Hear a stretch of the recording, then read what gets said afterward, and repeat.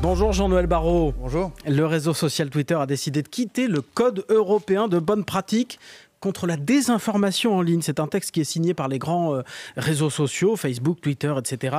Des professionnels de la publicité, des fact-checkers qui s'engagent sur une base euh, volontaire à mieux lutter ensemble contre la désinformation. Twitter donc qui s'en extrait. Quelle est la réaction officielle de la France, du gouvernement français?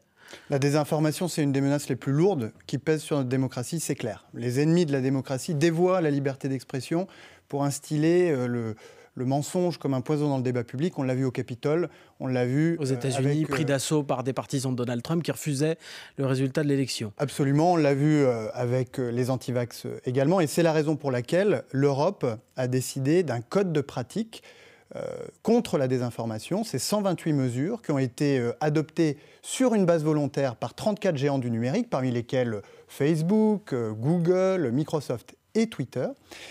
Mais à côté de ce code de, pratique euh, qui est, une, qui est une décision volontaire, il y a une règle qui va s'appliquer à partir du 25 août prochain et qui oblige les grandes plateformes de réseaux sociaux à lutter activement contre la désinformation. Mais Jean-Louis Barrault, ce que dit euh, Elon Musk, c'est pas que la désinformation ne sert à rien. Il dit que ce code est superfétatoire, qu'il est inutile. Il dit euh, j'ai ma communauté qui est capable de faire de la lutte contre la désinformation en ligne. Eh bien, écoutez, moi je souhaite que Twitter puisse se conformer d'ici le 25 août aux règles européennes nouvelles que nous avons adoptées. Sinon, il ne sera plus le bienvenu en Europe et force restera à la loi. C'est quoi les règles précisément qui vont s'appliquer euh, dès la fin de l'été en Europe? Est-ce qu'elle va changer pour Elon Musk, justement euh, Dès la fin de l'été, c'est un ensemble de règles qui va s'imposer aux réseaux sociaux et aux places de marché qui va les faire rentrer euh, dans l'ère de la responsabilité, avec des obligations de modération, c'est-à-dire de retrait des contenus illicites euh, qui leur sont signalés, avec des interdictions, comme celle de faire de la publicité ciblée sur les mineurs, par exemple, mais aussi avec une obligation impérieuse, celle de lutter activement contre la désinformation. Et il faudra en faire la preuve, sans quoi des amendes très lourdes pourront être prononcées, et puis en cas de récidive, une interdiction d'activité dans l'Union européenne. C'est ce que vous venez de dire. Si Twitter ne s'y conforme pas, il ne sera plus le bienvenu en Europe. Il ne sera plus le bienvenu en peut couper Twitter en Europe. Absolument, et force restera à la loi. Twitter peut être banni de l'espace européen. Twitter, s'il ne se conforme pas à nos règles, sera banni en cas de récidive euh, de l'Union européenne. Je précise que les règles prévoient des amendes hein, qui peuvent monter jusqu'à 6% du chiffre d'affaires mondial euh, des entreprises. On imagine donc que pour Twitter ou Facebook... Euh, C'est à peu près 300 millions d'euros pour Twitter. Oui. C'est sur Twitter, Thierry Breton d'ailleurs a réagi. Twitter est devenu indispensable, y compris au monde politique. Twitter joue un rôle important dans le débat public, mais nous ne pouvons pas prendre le risque qu'un réseau social tel que Twitter se laisse euh, prendre en otage par les partisans euh, de la désinformation et que, euh, par conséquent, notre débat public, notre démocratie soit affectée. C'est la raison pour laquelle nous avons établi des règles claires et il faudra que Twitter s'y conforme. Les réseaux sociaux sont devenus des sortes d'organes de presse, presque. Il faut les considérer presque comme tels. Les organes de presse sont assujettis à un régime de responsabilité très lourd. Vous le savez, un organe de presse doit disposer d'un directeur de la publication qui est euh, tenu responsable, pénalement euh, responsable des contenus qui sont diffusés euh, par ces journaux, par ces médias. Jusqu'à présent, les réseaux sociaux n'étaient assujettis à aucune obligation. Avec un règlement que la France a porté l'année dernière, sous l'impulsion du président de la République, eh bien, nous allons changer les choses et nous allons faire rentrer les réseaux sociaux dans une ère de responsabilité où on ne va pas leur demander d'être responsables de tous les messages qui circulent sur leur plateforme. Mm. Ça, serait, ça serait vain et ça serait une atteinte à la liberté d'expression. Mais en revanche, on va leur demander de prendre un certain nombre de mesures, de mettre en place un certain nombre de garde-fous pour que les contenus illicites qui transitent sur leur plateforme soient retirés dans les plus brefs délais et pour que la désinformation ne puisse pas y prospérer. Est-ce que vous dites euh, la même chose à, à ChatGPT euh, qu'à Twitter. Si vous ne vous conformez pas à nos règles, vous n'êtes plus les bienvenus en Europe. Je vous dis ça parce que Sam Altman, le patron de ChatGPT qui était en tournée européenne, euh, s'est inquiété d'une régulation trop contraignante qui pourrait arriver dans l'Union européenne en disant euh, bon, bah, dans ce cas-là, nous, on n'opérera plus en Europe. Il est un peu revenu sur ses propos lors de l'étape parisienne. La, la, double visite de Sam Altman, le fondateur de ChatGPT, en France la semaine dernière, les propos qu'il a tenus témoignent de tous les atouts dont dispose la France dans cette course effrénée à l'intelligence artificielle générative. Une course dans laquelle nous ne devons pas euh, nous laisser distancer. C'est une question euh, de souveraineté et par ailleurs, euh, nous en avons les moyens. Il faut protéger l'innovation. Pour cela, il faut investir, et le président de la République aura l'occasion de faire des annonces dans quelques semaines, et il faut réguler efficacement et intelligemment. Il y a quelque chose qui s'est passé il y a quelques jours et qui est très intéressant. C'est que Google a lancé à son tour son propre chat GPT qui s'appelle Bard. Il l'a lancé dans 180 pays autour du monde, Mais sauf en, Europe. Sauf en Europe. En raison d'une notamment du risque, du risque de... réglementaire, en tout cas, c'est ce que euh, Google a. En fait, c'est la protection des données, c'est le fameux euh, RGPD.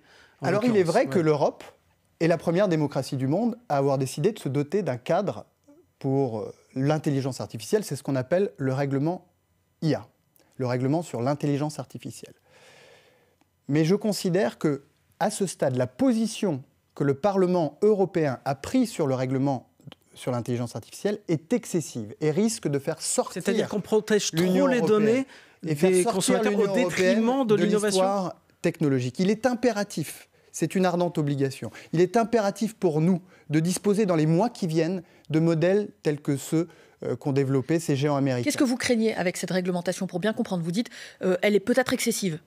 Sur quel point de vue? Elle est peut-être excessive. Elle est, elle je, je, dis qu'à ce stade, la position du Parlement européen est excessive, car elle impose des obligations d'audit, euh, des obligations euh, de transparence qui sont excessives pour ce type de modèle. Le type de modèle comme ChatGPT, qui font l'objet d'une course effrénée dans laquelle nous ne devons pas nous laisser distancer, sans quoi nous nous enfermerions dans des décennies d'assujettissement et de dépendance technologique. Il faut que nous restions dans la course, il faut évidemment donner un cadre au développement de l'intelligence artificielle, mais à ce stade, la position du Parlement européen est excessive. C'est-à-dire vous êtes d'accord avec, par exemple, tous les experts qui disent euh, ce qu'on a fait jusqu'ici en régulant, c'est de favoriser les grands groupes américains qui, eux, ont une batterie de juristes pour contourner les règlements, et puis finalement, euh, bah, on a tué euh, l'innovation européenne. Pas tout à fait. Je pense que la régulation est nécessaire. On parlait tout à l'heure des réseaux sociaux et je me félicite de l'adoption l'année dernière de deux règlements majeurs à l'initiative de la France et du président de la République qui mettent de l'ordre mmh. euh, dans l'économie numérique et dans la société numérique. Mais s'agissant de l'intelligence artificielle qui est une technologie émergente, il est impératif que nous puissions encadrer, mais avant cela, que nous puissions nous doter de ces outils-là, sans quoi nous serons dépendants des outils produits ailleurs. Les Américains continueront de développer leurs euh, modèles euh, aux États-Unis.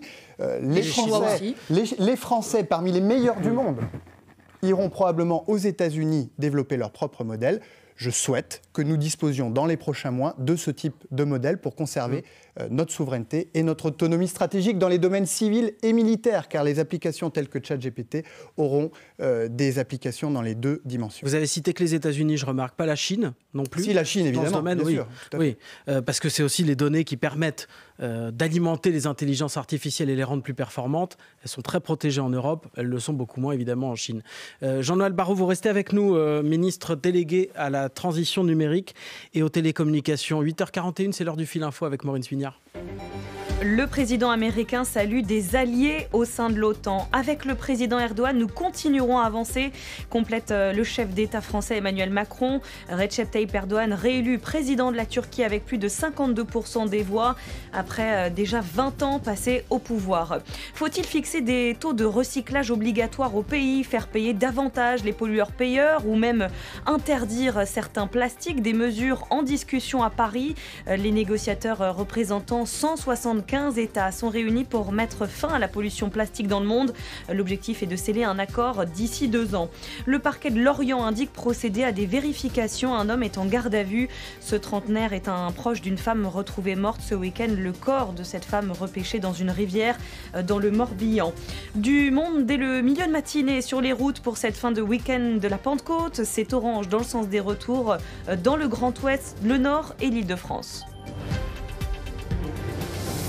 France. Info. Le 8-30 France Info, Neil à la trousse, Laurent Sénéchal. Toujours avec Jean-Noël Barrot, ministre délégué euh, à la transition numérique et aux télécommunications. On parlait tout à l'heure d'Elon Musk, le patron de, Twitter. Il apporte aussi, euh, le milliardaire américain, une aide considérable à l'Ukraine dans la guerre contre la Russie via son réseau Internet euh, Starlink, réseau par satellite.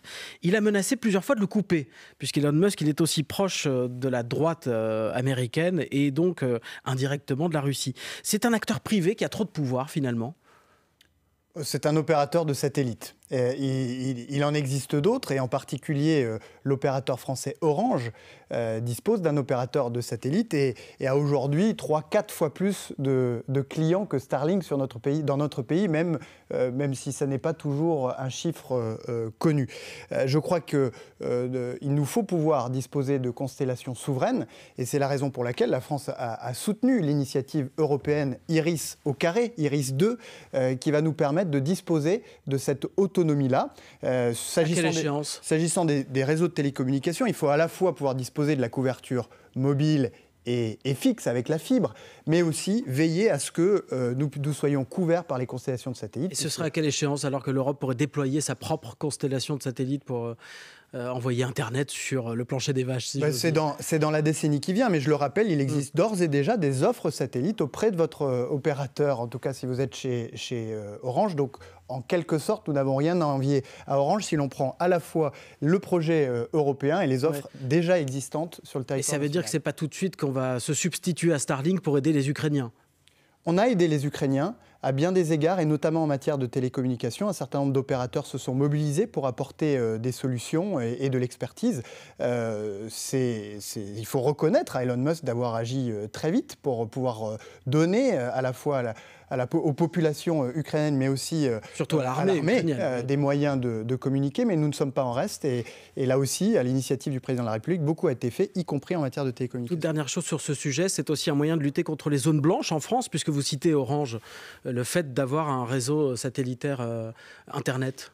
L'objectif euh, qui est le nôtre, c'est de, couvrir avec les réseaux euh, mobiles l'intégralité euh, du territoire, mais aussi de le faire avec le, très haut débit, et c'est la raison pour laquelle nous travaillons activement au déploiement de la fibre, et nous sommes bien avancés puisque la France est le pays d'Europe qui est le mieux fibré. Ceci étant dit, il restera toujours quelques, quelques territoires, quelques locaux d'habitation qui sont si éloignés des centres-villes, des centres-bourgs qu'il faudra bien trouver une solution alternative à la fibre, et, et dès lors le satellite s'y prêtera. Jean-Noël Barraud, j'aimerais euh, que l'on revienne un instant sur les réseaux sociaux avec dans l'actualité euh, ce suicide atroce de la jeune Lindsay euh, il y a deux semaines, 13 ans. Elle était scolarisée dans un collège du Pas-de-Calais. Ses parents expliquent qu'elle était la cible d'insultes à répétition à l'école et sur les réseaux sociaux depuis la rentrée. Quelle responsabilité de ces réseaux dans le cyberharcèlement? D'abord, c'est un, drame comme on en a connu beaucoup trop souvent ces dernières années. J'ai évidemment une pensée pour la famille. Et ce drame, il nous invite à, continuer d'agir euh, et d'accélérer pour faire reculer le cyberharcèlement en ligne, qui touche les enfants, vous l'avez dit, qui touche aussi les femmes. Les femmes ont 27 fois plus de chances euh, ou de malchance euh, de subir le cyberharcèlement sur Internet que les hommes. Et face à cela, il nous faut, je dirais, une approche à 360 degrés. Il nous faut travailler à la sensibilisation et à la sensibilisation des élèves dès la rentrée prochaine tous les élèves de 6e dans notre pays se verront dispenser un passeport numérique, c'est-à-dire un module de sensibilisation en salle informatique. Donc c'est un, euh, cours, euh, un cours de Twitter et de Facebook. Qui les éduquera aux risques et aux bonnes attitudes à adopter en ligne lorsque l'on est témoin ou victime de cyberharcèlement. La loi de programmation euh, du ministère de l'Intérieur, portée par Gérald Darmanin, la loi de programmation de la justice, portée par Éric Dupont-Moretti, vont là aussi ajouter des moyens dont je souhaite qu'ils puissent être orientés vers la prise des plaintes, l'instruction et les enquêtes euh, de ces faits de cyberharcèlement. Mais ça, ça prend, sont... ça prend du temps. C'est ce qu'on voit dans le cas de, l'INSEE. Le, harcèlement a été caractérisé, a été remonté à l'établissement, et pourtant, le temps de le faire cesser, euh, cette jeune fille passe à l'acte. Absolument, et ça, ça suppose une sensibilisation beaucoup plus forte des enfants. C'est l'objectif de ce passeport numérique qui sera généralisé, qui est expérimenté actuellement, qui sera généralisé à la rentrée prochaine. Mais il faut aussi... Vous dites qu'il faut bannir aussi les cyberharceleurs des plateformes. Je dis qu'effectivement, et ça fait partie des propositions que je porte dans un projet de loi qui sera examiné euh, euh, cet été, euh, qu'il faut bannir comme on le fait avec l'interdiction de stade pour les hooligans, celles et ceux qui, à répétition, euh, se livrent à des, à, des actions de cyberharcèlement qui propagent la haine sur les réseaux sociaux, qui embrasent leur communauté. C'est un juge qui décide ou c'est euh, le réseau social qui... C'est le juge, dès lors qu'il aura prononcé une condamnation à l'encontre d'une personne qui se sera rendu coupable de cyberharcèlement, comme les agresseurs de Mila ou les agresseurs de Dédi Despréto, eh bien le juge pourra prononcer une peine complémentaire de bannissement à l'image de la peine complémentaire d'interdiction. Et encore une fois, ce n'est pas quelque chose qui se fera dans l'urgence, donc ça veut dire qu'il y aura eu un procès. C'est la raison pour laquelle je plaide pour une approche à 360 degrés qui va de la sensibilisation à la sanction et qui touche toutes les générations, parce que le cyberharcèlement n'épargne personne. Le juge français pourra décider pour ces plateformes qui sont souvent américaines, notamment, ou chinoises du bannissement Bien, euh, Le juge donnera l'obligation à ces plateformes de mettre tout en œuvre pour interdire la réinscription des auteurs de cyberharcèlement sur leur plateforme. Parce qu'elles se cachent souvent derrière des lois californiennes, par exemple, qui sont plus protectrices de la liberté d'expression. En France, les plateformes appliquent le droit français et en Europe, elles appliquent le droit européen. Vous disiez que ça touchait toutes les générations. Euh, chiffre euh, de la CNIL, la Commission nationale de l'informatique et des libertés. La première inscription à un réseau social en France intervient en moyenne vers 8 ans et demi c'est jeune, c'est très jeune. C'est beaucoup trop jeune, sachant que ces plateformes ont fixé en général euh, l'âge de 13 ans comme étant l'âge minimum pour s'inscrire euh, sur ces plateformes. C'est-à-dire qu'elles ne vérifient pas C'est-à-dire qu'elles ne vérifient pas, et je veux saluer l'initiative euh, parlementaire de Laurent Marcangeli, qui, que j'ai soutenu, qui vient d'être adoptée à l'unanimité de l'Assemblée et, et du Sénat, et qui vient imposer à ces plateformes de vérifier l'âge des enfants et des utilisateurs lorsqu'ils s'inscrivent, mais aussi de recueillir le consentement des parents. Parce qu'avant 15 ans... Il faudra une autorisation parentale. Il faudra l'autorisation euh, parentale. Et euh, euh, c'est une étape qui est franchie dans la bonne direction. à partir de quand? pour, la, pour la, protection des mineurs en ligne. c'est dans les mois qui viennent que cette obligation nouvelle s'appliquera et on va travailler maintenant que la loi la loi est adoptée ou presque pour euh, mettre en œuvre euh, les mesures pour y parvenir. Les parents décideront si les, si les, enfants peuvent s'inscrire, mais aussi si les enfants doivent sortir de, des réseaux sociaux. Ils pourront demander, euh, j'ai cru voir que c'est les parlementaires qui, qui, ont ajouté ça au texte, demander la suspension du compte d'un enfant de moins de 15 ans. Absolument. C'est ce qu'on appelle la majorité numérique. Avant 15 ans, on a le droit de s'inscrire sur un réseau social. Mais avec l'autorisation des parents. Mais avec l'autorisation Et ça va se passer comment concrètement euh, L'adolescent sera en ligne, on va lui demander une photo de sa carte d'identité, euh, on va lui demander une signature numérique de ses parents vous, le savez, pour la, protection des enfants en ligne, que ce soit sur la question des réseaux sociaux ou de l'exposition à la pornographie, on en dira peut-être un mot, la mère des batailles, c'est la vérification d'âge. Cela fait deux ans que nous y travaillons euh, sur la question de l'exposition au contenu pornographique. Des solutions existent déjà. Elles sont imparfaites, mais elles existent. Et donc, euh, les plateformes, les sites pornographiques pourraient s'en saisir. J'ai incité un certain nombre d'entreprises françaises à, développer des solutions qui soient à la fois fiables sur la mesure de l'âge de l'utilisateur et qui garantissent zéro fichage, zéro piratage, pour qu'à l'avenir, nous puissions disposer d'outils de vérification d'âge en ligne euh, qui soit parfaitement adéquat et accepté. Bon, justement, on va parler de ce fléau de la pornographie chez nos adolescents dans un tout petit instant avec vous, Jean-Noël Barrot, euh, euh, ministre délégué en charge de la transition numérique et des télécommunications. Maureen Suignard, 8h50, c'est le fil info. 37 missiles, 29 drones russes, c'est ce que l'armée ukrainienne dit avoir abattu pendant la nuit. 15e attaque de ce type en Ukraine depuis le début du mois. La réélection du président Erdogan, salué dans le monde, celui qui est à la tête euh, du pouvoir turc depuis 20 ans, remporte la présidentielle avec plus de 52% des voix et signe pour 5 ans supplémentaires. Son rival, le social-démocrate Kemal Kılıçdaroğlu, Darolou, a exprimé sa tristesse face aux difficultés, dit-il, qui attendent le pays. Un blessé par balle à Marseille la nuit dernière, dans le 14e arrondissement de la ville. La victime est âgée euh, de 32 ans. Il était chez lui quand de faux livreurs de pizza se sont présentés et lui ont tiré dessus. Il vient pour euh, gagner. Le Serbe Novak Djokovic débute euh, Roland Garros aujourd'hui, tout comme le numéro 1 mondial, l'Espagnol Carlos Alcaraz. Six Français aussi à l'affiche aujourd'hui, donc Caroline Garcia, Benoît Père et Arthur Fils. Hier, c'est Lucas Pouille notamment qui a signé un exploit en se qualifiant pour le second tour après une traversée du désert. France Info. Le 8-30 France Info, Neil Alatrousse, Laurent Sénéchal. La question de la majorité euh, numérique qui se pose pour l'accès aux réseaux sociaux et, aussi euh, aux sites pornographiques. L'ARCOM, la semaine dernière, euh, révélait ces, ces, chiffres. Un tiers des moins de 18 ans consultent chaque mois au moins un site porno, proportion encore plus effrayante chez les 12-13 ans. Un garçon sur deux à cet âge consulte ces sites chaque mois. Ça veut dire que euh, toutes les mesures qui ont été prises jusqu'ici, avec euh, depuis 1992 une infraction qui existe sur l'exposition des mineurs à ces images à caractère euh, sexuel, toutes les mesures prises n'empêchent pas les mineurs d'accéder à du, à du contenu pornographique. La situation était connue, mais les chiffres publiés par l'ARCOM sont terrifiants par leur ampleur, 2 millions d'enfants exposés chaque mois aux sites pornographiques, par leur progression, plus 40% en 5 ans, et par la précocité du phénomène, vous l'avez rappelé, dès 12 ans, un garçon sur deux est exposé chaque mois à des images pornographiques. Pourquoi? Parce que les sites ne vérifient pas l'âge de leurs utilisateurs, la majorité de leurs utilisateurs, alors même qu'ils y sont tenus par la loi. Ils disent on n'a pas les moyens techniques de le faire.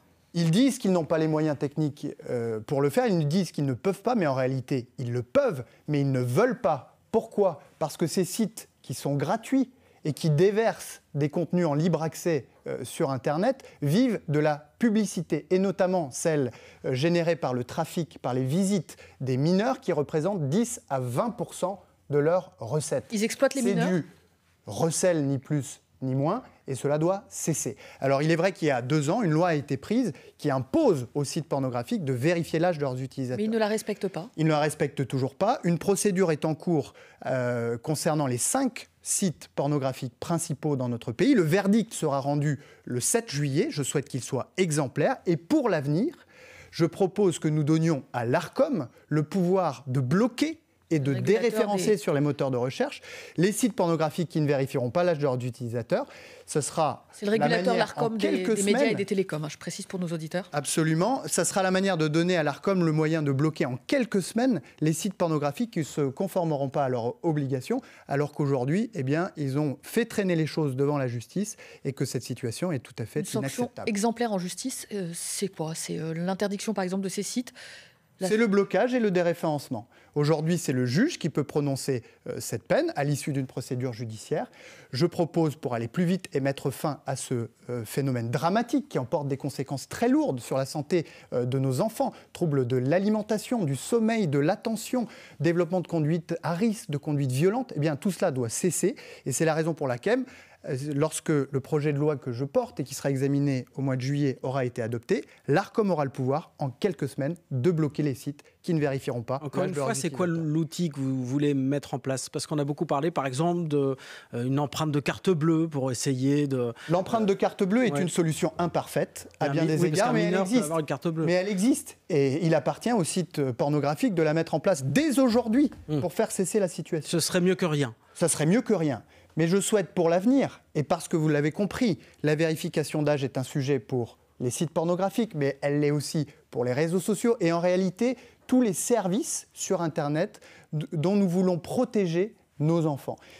Eh bien, c'est pour cela que j'ai demandé à des entreprises de réfléchir au développement de solutions de vérification d'âge qui soient à la fois fiables et à la fois euh, euh, robuste et, qui garantit zéro fichage et zéro piratage. C'est-à-dire ça pourrait être un tiers de confiance comme par exemple pour tout le, tout le public, un France Connect qu'on utilise pour aller sur tout un tas de sites différents et qui euh, authentifie qui est la personne derrière son ordinateur. France Connect sait qui vous êtes et donc on ne peut pas lui demander directement d'authentifier de, votre âge. Mais ce que l'on peut faire, c'est avoir des applications euh, qui vont recueillir de la part de fournisseurs d'identité numérique, peut-être qu'un jour France Connect en fera partie, une preuve anonyme de votre âge ou de votre majorité. Il faut Libre à vous de l'utiliser ensuite pour accéder à des services euh, sur Internet. Et de la même manière que lorsqu'aujourd'hui nous effectuons un paiement sur Internet et que l'application de notre banque nous demande une vérification à partir de notre smartphone, on peut très bien imaginer que notre preuve anonyme de majorité soit stockée sur une application, sollicitée par les services réservés aux, adultes ou limités euh, pour, euh, à, un certain âge lorsque nous voulons y accéder. puisque vous évoquez les, smartphones, c'est essentiellement le moyen par lequel euh, ces jeunes publics accèdent à, ces sites pornographiques. quel rôle pour les opérateurs télécoms? Est-ce que ça peut être eux le tiers de confiance? Est-ce qu'on peut imaginer par exemple des forfaits spécifiques pour les mineurs et l'opérateur télécom qui dira attention, vous êtes face à un mineur ou un majeur il me semble que certains forfaits existent déjà, mais en tout état de cause, la sanction, elle, le, blocage euh, repose évidemment sur les fournisseurs d'accès à Internet, c'est-à-dire sur les opérateurs télécoms. Lorsque l'ARCOM, euh, une fois mon projet de loi adopté, euh, ou ordonnera le blocage des, sites pornographiques concernés, c'est bien les opérateurs télécoms qui effectueront ce blocage. Jean-Noël Barrault, l'actualité de votre secteur nous fait parfois basculer dans ce qui ressemble, ou ce qui ressemblait il y a encore quelques années à de la, la science-fiction. On évoquait Elon Musk tout à l'heure. L'une de ces entreprises, Neuralink, va pouvoir commencer des essais cliniques sur des humains. Alors, quels essais cliniques Des implants placés dans le cerveau pour pouvoir contrôler les ordinateurs par la pensée. Qu'est-ce que ça vous inspire? Est-ce que ça vous intrigue? Est-ce que ça vous fascine? Est-ce que ça vous inquiète? D'abord, permettez-moi de rappeler que c'est le même Elon Musk qui, il y a quelques semaines, euh, signait un moratoire sur l'intelligence artificielle pour dire qu'il faut cesser tout cela. Mm. Ensuite, permettez-moi de saluer la prouesse scientifique des chercheurs du CEA et de l'école euh, fédérale polytechnique de Lausanne, euh, qui viennent... Français et suisses de Français et Suisses qui viennent de permettre à un homme paraplégique de 40 ans de retrouver l'usage de ses jambes grâce au numérique et à l'intelligence artificielle. Et, là, il n'y avait pas d'implant dans le cerveau, je le précise en l'occurrence, et des implants dans la colonne vertébrale, mais un boîtier euh, extérieur. et c'est une très belle illustration de toutes les promesses de l'intelligence artificielle pour nous permettre de sortir des impasses thérapeutiques et de permettre de trouver une mm. solution à des personnes qui avaient perdu tout espoir de guérison. Mais s'agissant du projet transhumaniste d'Elon Musk, le projet d'homme augmenté, ça n'est pas le mien, ça n'est pas le nôtre, et en tout état de cause, le cadre bioéthique euh, que nous avons en France s'y opposera. Jean-Noël Barrot, merci beaucoup, euh, ministre délégué chargé de la transition numérique. Très cher Naïla Latrousse, bon vent, et à tous et toutes, bonne journée. Bon vent.